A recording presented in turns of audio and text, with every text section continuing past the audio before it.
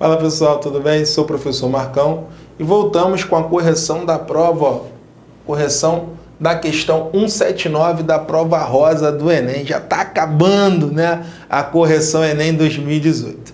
Para cima deles e não deixe o inimigo agir. Juntos conseguiremos essa vaga. Vamos lá, sem mais delongas, está aí a questão. Torneios de tênis, em geral, são disputados em sistemas de eliminatória simples, né? São disputados em um sistema de eliminatória simples. Aí é o blá blá blá da questão. Nesse sistema são disputadas partidas entre dois competidores, com a eliminação do perdedor e promoção do vencedor para a fase seguinte. Então, para acontecer uma partida, eu preciso de dois competidores. Né? Então é sempre assim: dois, competidor, dois competidores, vamos trocar uma ideia para não ter gritaria lá na frente.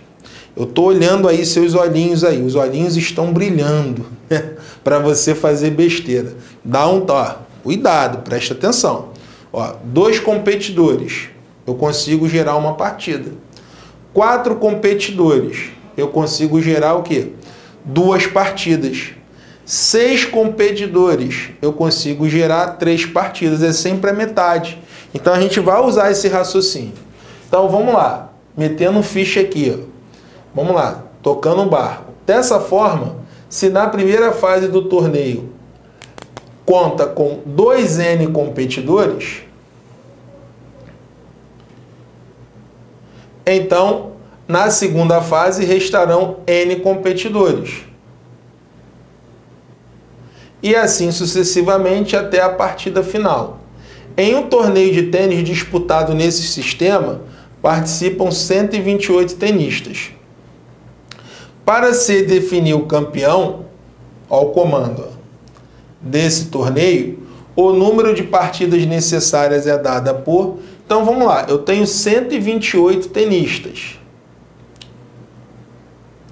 Então, na primeira fase, vamos chamar assim, na primeira fase, eu tenho 128 tenistas. Qual é o raciocínio?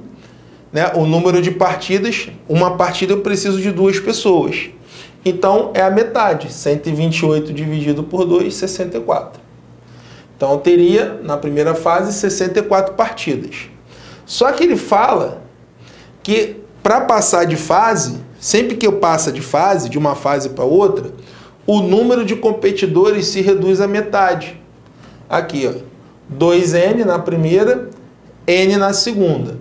E assim até a partida final, ou seja, vai diminuindo. Então, ó, 128 dividido por 2, 64. Então, na segunda fase, nós teríamos 64 tenistas.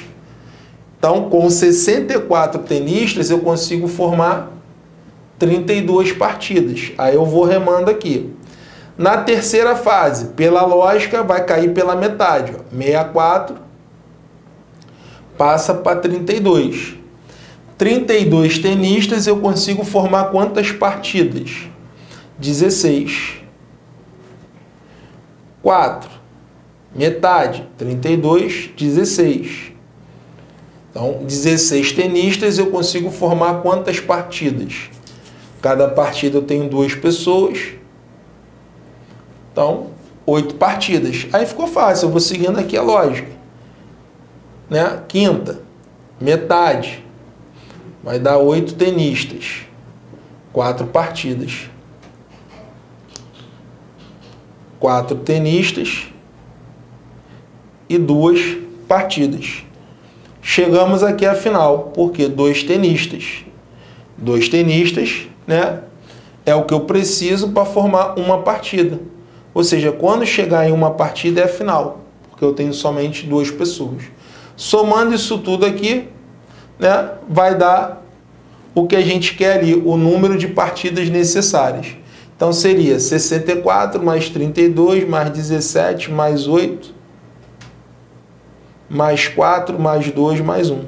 Está na vertical. Na horizontal seria o que acontece aqui na letra E.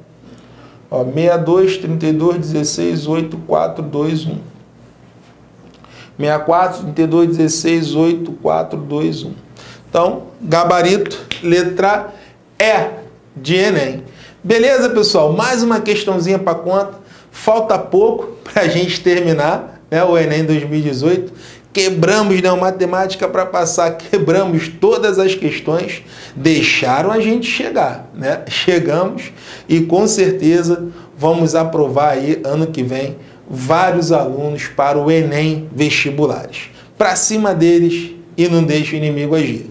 Na descrição do vídeo tem uma apostila gratuita para você com 210 questões que vão deixá-los aí de cara para o gol. Baixe a apostila e entre para a nossa lista VIP do Enem 2019 para você ficar por dentro de tudo que acontece no Enem. Beleza? Um forte abraço e matemática é o quê?